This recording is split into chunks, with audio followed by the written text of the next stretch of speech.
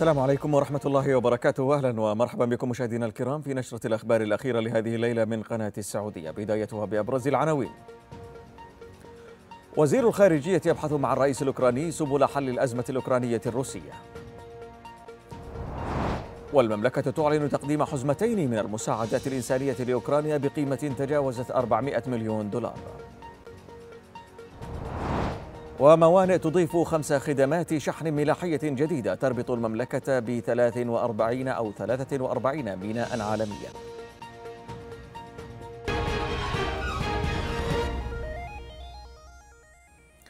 تفاصيل النشرة بسم الله الرحمن الرحيم.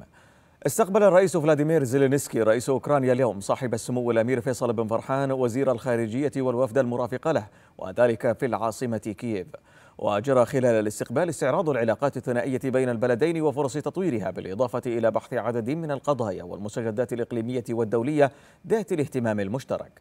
وجدد سمو وزير الخارجية خلال الاستقبال حرص المملكة ودعمها لجميع الجهود الدولية الرامية لحل الأزمة الأوكرانية الروسية سياسيا ومواصلتها جهودها للإسهام في تخفيف الآثار الإنسانية الناجمة عنها.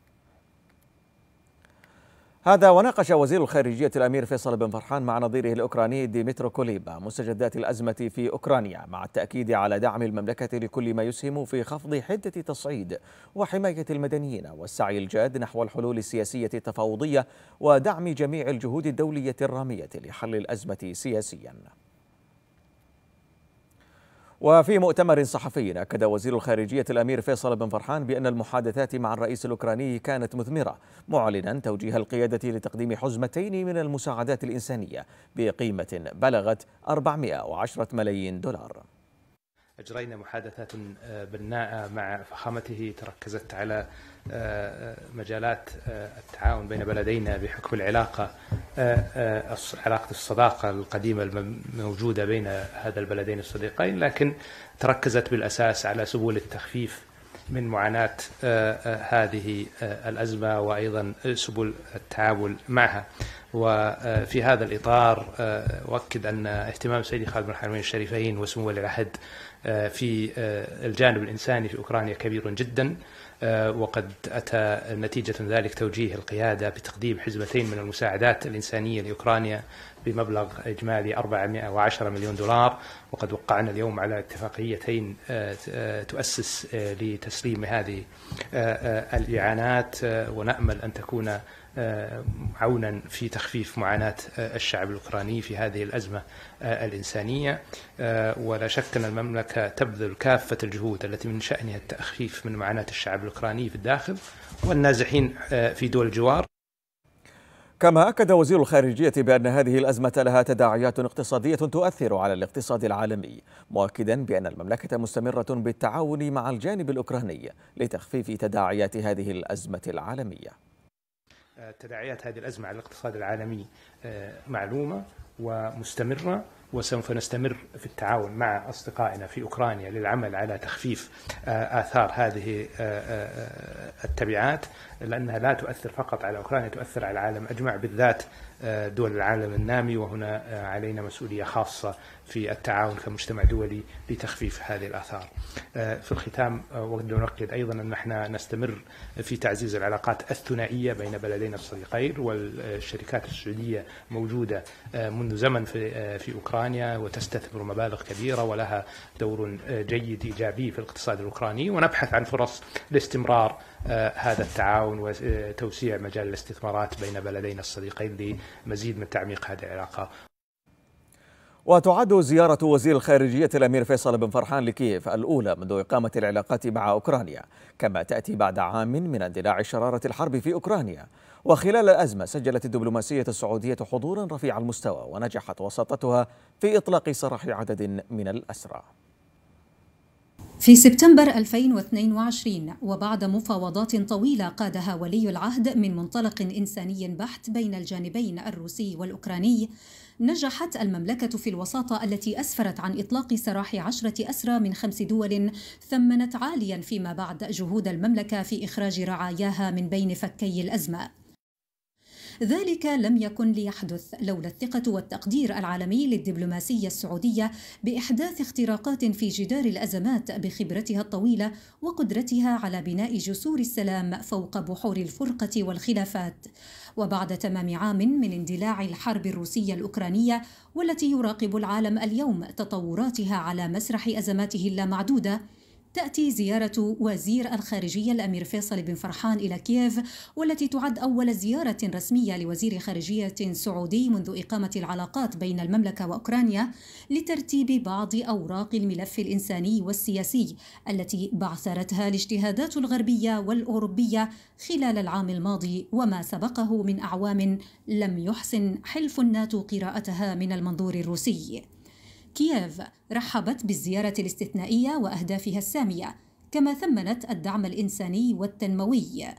410 ملايين دولار تقدمها المملكة اليوم استجابة للحاجة الإنسانية الملحة لنحو 40% من سكان أوكرانيا علاوة على ملايين من اللاجئين للدول المجاورة. الاتصال الدبلوماسي من قبل المملكة لم يتوقف يوما بين طرفي الأزمة روسيا وأوكرانيا كما الدعم الإنساني حيث استمرت المملكة في نهجها الإيجابي والبناء مع البلدين. واليوم من كييف وزير الخارجية يؤكد من جديد. الباب المغلق بين الجارتين روسيا وأوكرانيا لن تفتحه إلا يد الدبلوماسية. نعم هذه هي الزيارة الأولى لوزير خارجية سعودي منذ إقامة العلاقات منذ ثلاثين عام ولكن ستكون هناك زيارات أخرى. هكذا قال سمو وزير الخارجية الأمير فيصل بن فرحان من كييف. هنا حينما التقى الرئيس الأوكراني فلوديمير زيلينسكي. إيمان شيخين من كييف. هذا وقع المشرف العام على مركز الملك سلمان للإغاثة والأعمال الإنسانية الدكتور عبد الله الربيع برنامج تعاون مشترك مع وزير تنمية المجتمعات والأقاليم في أوكرانيا لتقديم مساعدات إنسانية بقيمة 100 مليون دولار أمريكي. وسوف تبدأ بجسر جوي تشمل مساعدات غذائية وصحية و135 مولدا كهربائيا إضافة إلى الاحتياجات الأساسية للتدفئة وغيرها. كما وقع الصندوق السعودي للتنمية مذكرة تفاهم لتمويل مشتقات نفطية بقيمة 300 مليون دولار بوصفها منحة مقدمة من حكومة المملكة لدعم أوكرانيا وشعبها الصديق في مواجهة التحديات الاجتماعية والاقتصادية التي تمر بها والإسهام في تخفيف الآثار الإنسانية الناجمة عنها.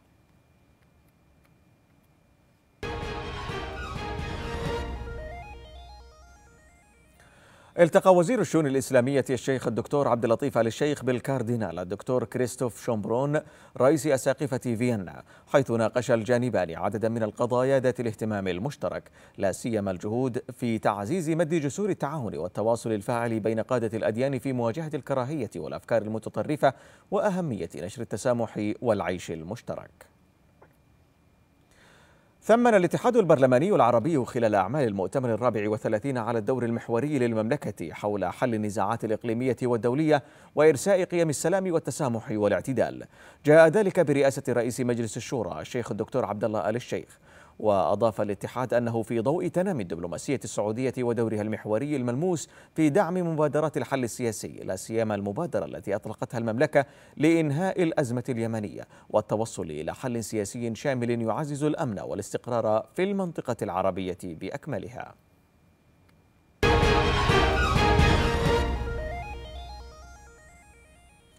اتفقت المملكة وكرواتيا مبدئيا على تأسيس مجلس أعمال سعودي كرواتي مشترك تحت مظلة اتحاد الغرف السعودية لفتح مجالات جديدة للتعاون الاقتصادي وتسهيل التفاعل المستمر بين قطاعي الأعمال في البلدين. جاء ذلك خلال لقاء رئيسة كرواتيا السابقة كوليندا غرابار والوفد المرافق لها مع أصحاب الأعمال السعوديين بمقر اتحاد الغرف السعودية بالرياض. حيث ناقش الجانبان الفرص الاستثمارية المتاحة في قطاعات الطاقة والطاقة المتجددة والسياحة والعقار والنقل والبنية التحتية والتقنية. اعتمدت الهيئة العامة للموانئ موانع خمس خدمات جديدة أو خمس خدمات شحن جديدة ما يسهم في ربط المملكة ب 43 ميناء عالميا.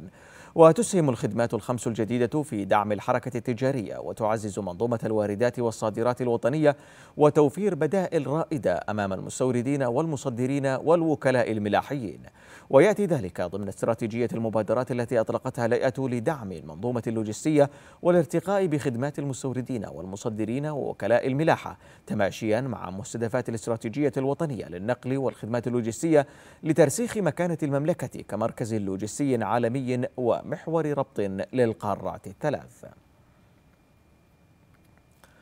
أعلن صندوق التنمية العقارية إيداع أكثر من 921 مليون ريال في حسابات مستفيدي سكني من وزارة الشؤون البلدية والقروية والإسكان والصندوق العقاري لشهر فبراير 2023 تحقيقا لأهداف برنامج الإسكان أحد برامج رؤية المملكة 2030 إذ اشتمل على مزايا وحلولا تمويلية وسكنية متنوعة تعزز من فرص تملك السكن الملائم لرفع نسبة تملك المواطنين للمساكن إلى 70%. أعلن ملتقى بيبان 23 الذي تنظمه هيئة المنشآت الصغيرة والمتوسطة منشآت عن إطلاق أكثر من 13 أو 13 مسابقة وهاكاثون بجوائز تفوق قيمتها 10 ملايين ريال. ويهدف الملتقى خلال فترة انعقاده في التاسع من مارس القادم إلى تعزيز ريادة الأعمال التقنية واكتشاف القدرات الرقمية للشباب والشابات وتنمية وتطوير أفكارهم ونشر ثقافة الإبداع والابتكار. أدى طلاب وطالبات التعليم العام صباح اليوم الاختبارات التحريرية لنهاية الفصل الدراسي الثاني لجميع المراحل التعليمية من الصف الثالث الابتدائي وحتى الثالث الثانوي وذلك على مدى أسبوع. تنتهي بأعمال الرصد واعتماد النتائج قبل نهاية دوام يوم الخميس المقبل.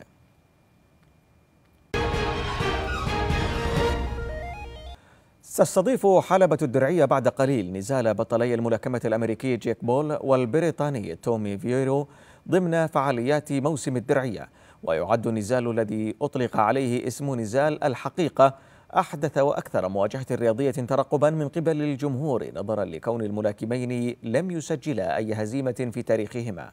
كما ستشهد الحلبة نزالات أخرى على هامش النزال الرئيس بين ملاك بينهم ملاكمون محليون.